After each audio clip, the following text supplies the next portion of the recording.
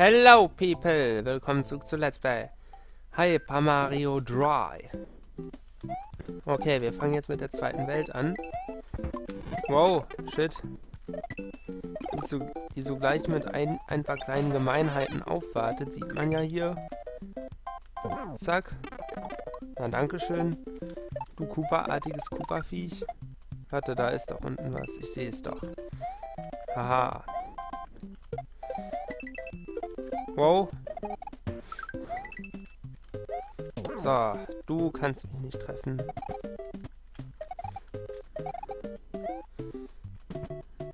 Zack.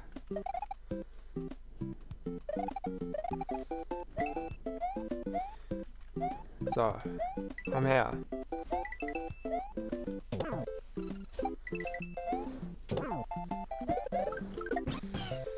So, hier haben wir Yoshi. Nein, nein, nein, nein, nein. Stopp. Stopp, du Viech. Runter. Wow. Ich wusste jetzt nicht, was da unten ist. Und was war das? Zack. Und aufessen kann man dich nicht, oder? Nee. So. Hui.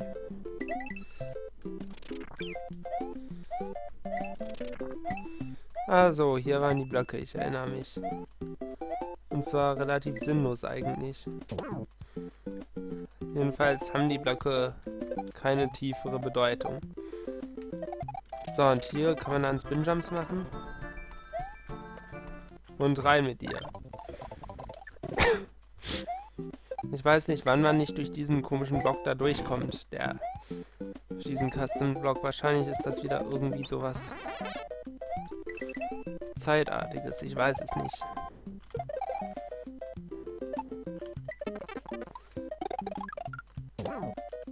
Zack. So. Komm her und plopp. Plopp.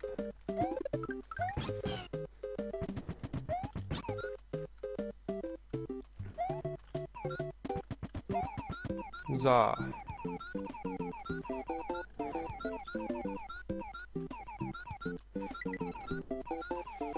Okay, somit kann man sich das Level ja auch etwas... Ah so, da war doch ein Leben. Das hatte ich irgendwie vergessen, naja. So. Jetzt können wir uns das Level jedenfalls schön einfach machen, indem wir, indem wir da drüber fliegen, wie wir lustig sind. Das ist doch schön.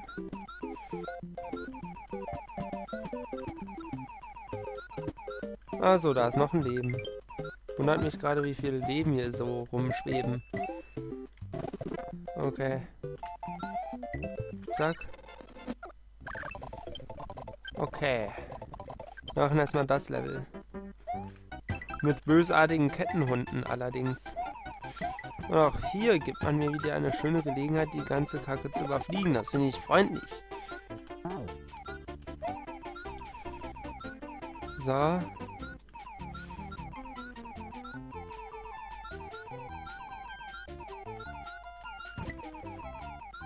Stirb.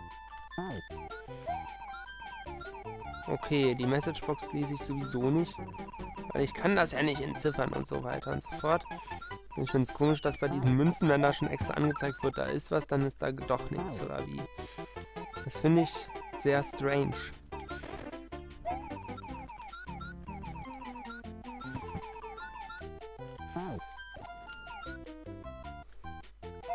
Zack.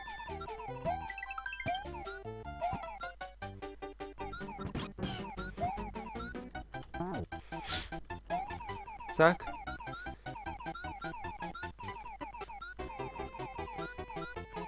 So.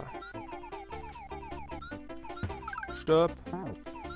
Und zack. Wow, Hilfe.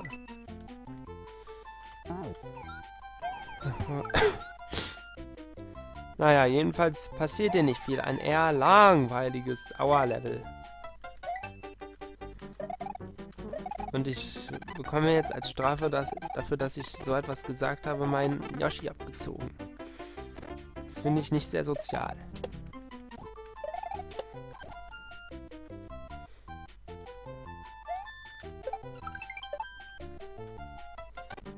Oh. Lass mich in Ruhe, du Kettenköter. Na geht doch. Du hast mich in Ruhe gelassen, du hast mein Gebiet erhört. okay, Secret Exit. Ich glaube, dann machen wir doch lieber das Ghoster-Haus erstmal da oben.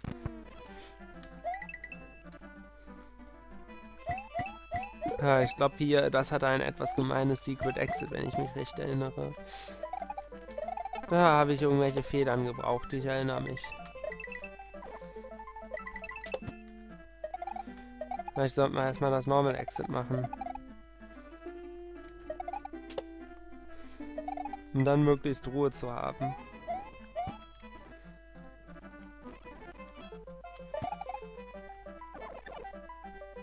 So, Leute. Rein mit dir. Also, diese Schlange haben wir, brauchen wir später noch. So kann ich euch schon mal sagen. Ich will nur jetzt an die Yoshi-Coin da oben. Ja, die müssen wir nämlich für das Secret Exit irgendwann später hier hin machen, wenn wir einen P-Switch haben. Nur die Frage ist, wo kriegen wir denn P-Switch her? Jetzt müssen wir nur noch diesen dämlichen Raum überstehen und dann ist alles gut. Zumindest wenn wir das Normal Exit haben wollen. Und ich habe gesagt, ich werde jetzt erstmal das Normal Exit holen. So. Wow, scheiße. Ja, das kommt davon, wenn man unbedingt die letzte Yoshi-Coin haben will.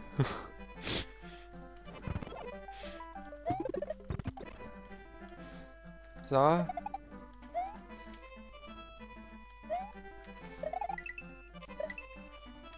Mann! Okay. Ich überlege jetzt gerade, ob ich eine Planänderung durchführen soll. Ich meine, hier gab es doch Federn, wenn, mich nicht, wenn ich mich recht erinnere. Ja, hier gab es Pilz. Und da gab es Feder. So, und hier gab es noch eine Feder. Ich glaube, ich mache trotzdem erstmal das Normal Exit. Auch wenn ich Federn habe, könnte ich jetzt das Secret Exit machen, aber das ist ein bisschen mies. Mein Gott, und das war so ein unnötiger Hit. Und das genauso. Warum spawnen diese Scheißgeister an mich rein? Das hat mich immer an denen genervt. Die sind manchmal ziemlich unberechenbar.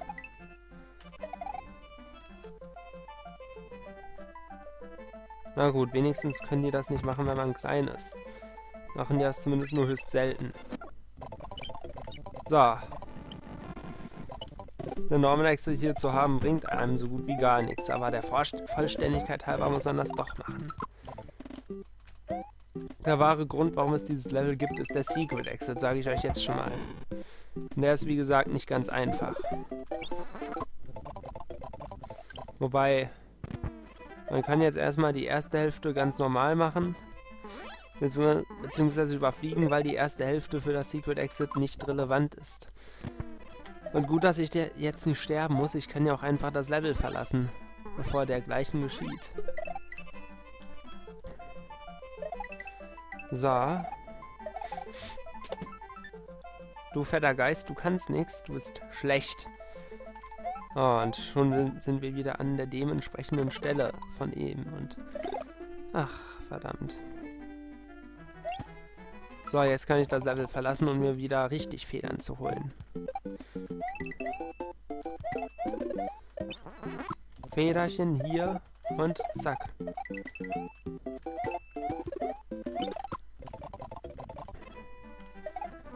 Geisterhaus. Rein mit ihr. So, und jetzt, um das Secret Exit zu kriegen, da muss man fliegen. Ja, man muss da tatsächlich, während man von diesen dämlichen Geistern belästigt wird, da irgendwie hochkommen. Ja, indem man eben hochfliegt. Ja, aber das ist nicht so ganz einfach, wie man hier sehen kann.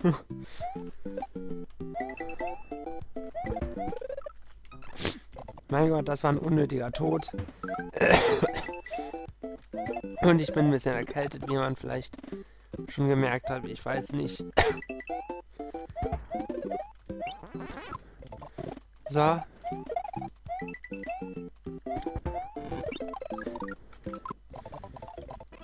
Jetzt haben wir unsere beiden Federn wieder und diesmal werden wir das richtig machen.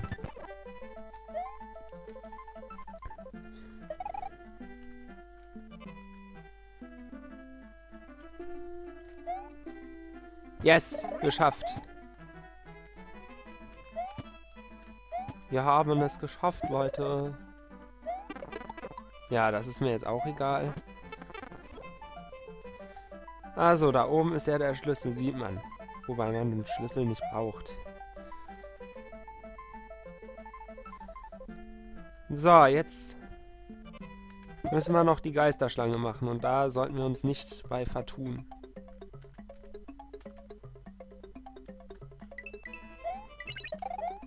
Denn das war der letzte Fehler, der uns noch hätte unterkommen können.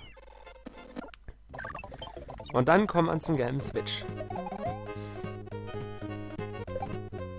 Also ich glaube, das ist so gedacht. Erstmal soll man hier das hier machen und dann...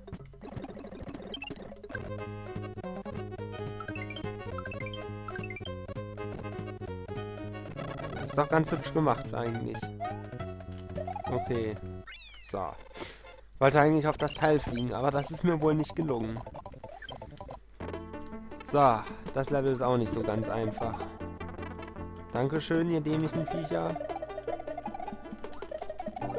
Stirb. Du auch? Denn du bist genauso minderwertig wie deine Kollegen. Hier ist schon mal der Schlüsselloch für das Secret Exit. Ihr fragt euch sicherlich bestimmt, wie soll man da durch diese Blöcke kommen, wenn wir Wasser haben? Die Frage werde ich euch gleich beantworten. Es gibt da nämlich so ein Gimmick in diesem Level.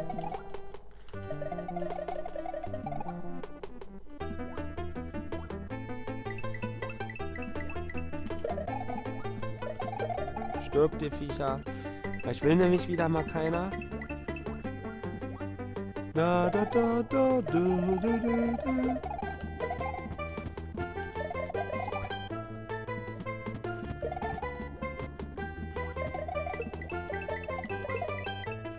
So. Aber jetzt dürften wir den Midway Point erreicht haben. Ja, dem ist tatsächlich so.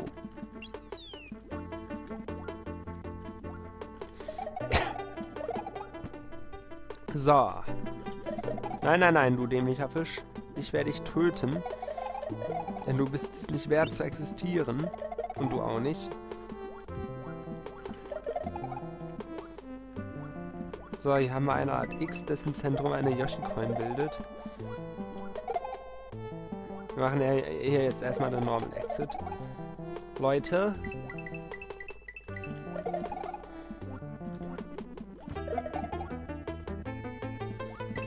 Zack, zack. Hier haben wir hübsche Blöckchen, wo nur Kohle drin ist. Ah ja, und hier sieht man es jetzt zum ersten Mal. Ja, den hier kann man nämlich machen. In diesem Level. Und jetzt kommt der Secret Exit. Ihr werdet schon ahnen, was jetzt kommt. Stichwort Backtracking. Ich habe euch eben nämlich gar nicht gezeigt, wo man einen Schlüssel holen kann. Das werde ich wohl jetzt nachholen müssen.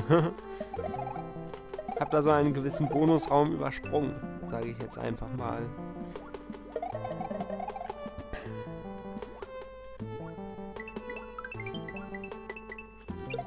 Zack.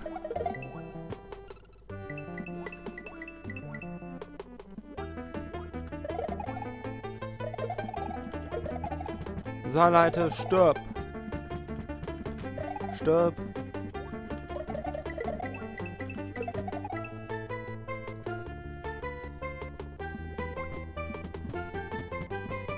Okay, haben wir jetzt den Midway Point.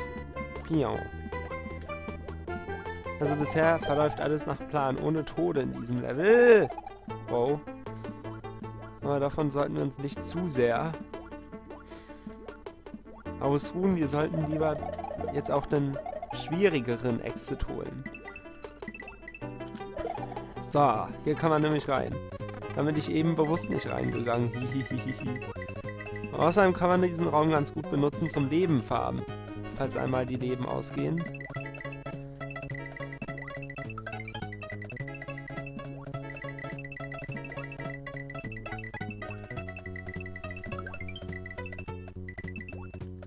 So, deswegen werde ich hier jetzt einfach alle Münzen einsammeln. Weil das lustig ist.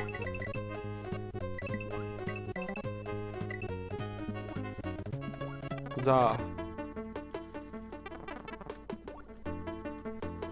Ihr ahnt sicherlich schon, was man jetzt machen muss. So, erstmal die fünfte Yoshi-Coin.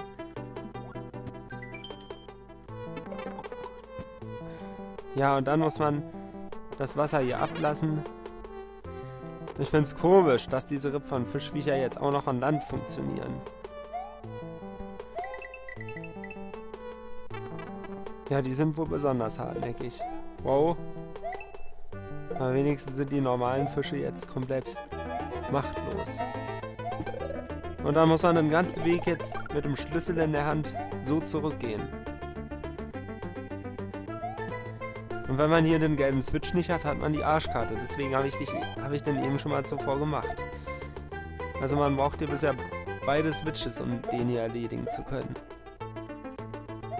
Okay, und ich hoffe, ich habe hab jetzt nicht verkackt, denn ich brauche, glaube ich, noch einen Pilz, um durch die, diese Blöcke graben zu können. Hoffentlich gibt es hier nochmal ein Power-Up. Nee, Leute. Oh. Dann habe ich verkackt. Das bedeutet, ich werde mir jetzt erstmal wieder Federn holen. Und wow, warum taucht jetzt auf einmal so ein Block auf? Komisch. Ah so, habe ich vielleicht eben die Umrandung nicht gesehen? Könnte sein. Naja.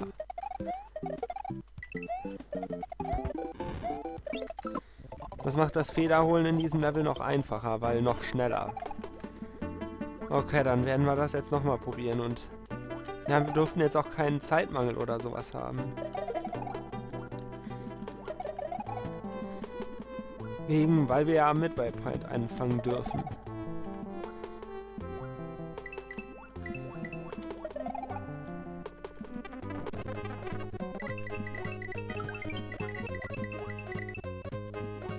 So, soll ich jetzt wieder die ganzen Münzen ansammeln? Eigentlich ist das... Kostet das ja Zeit, aber... Mach's trotzdem, weil das schön viel Leben bringt. so. Seht ihr schon, ich habe ja jetzt schon 20 Leben. Dank dieses hübschen Bonusraums.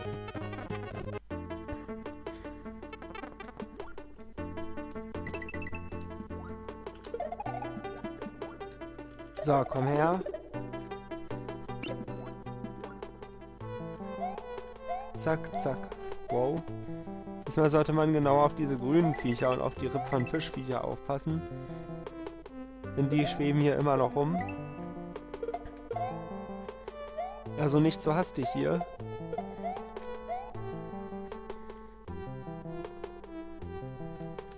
Zack. Na gut, ohne roten Switch könnte man das noch schaffen, wenn man mit der Feder fliegt. Aber ohne gelben ist das ziemlich unmöglich.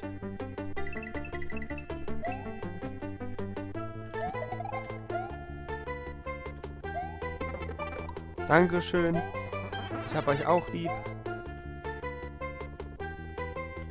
Ich werde erstmal dich töten, damit du mir nicht auf dumme Gedanken kommst. Genauso wie dich. So. Geschafft. Im nächsten Part werden wir hier oder hier weitermachen, je nachdem, welche Laune ich habe. So, Leute, das war's dann für diesen Part. Bis dann. Tschüssi.